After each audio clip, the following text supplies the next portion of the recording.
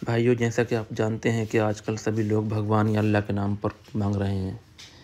लेकिन वो मांगने के बाद उस पैसे का करते क्या हैं?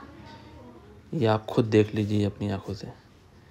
इस शख्स ने पूरा दिन अल्लाह भगवान के नाम पर मांगा और मांगने के बाद इसने क्या किया है, ये आप खुद देखो। इसने एक सिगरेट ख़रीदा।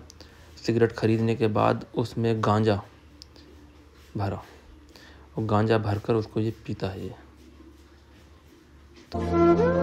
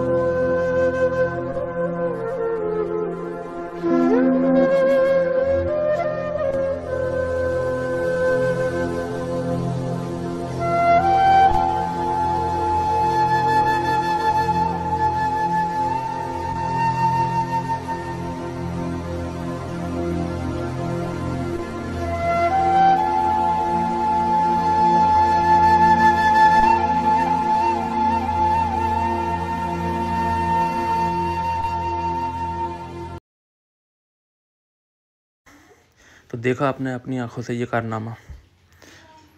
तो ऐसे लोगों से बिल्कुल दूरी बनाए रहें, ऐसे लोग अगर घर पर मांगने भी आएँ तो उनको भीख ना दें। पहले देखें कि वो इस लायक है नहीं कि उसको भीख दी जाए।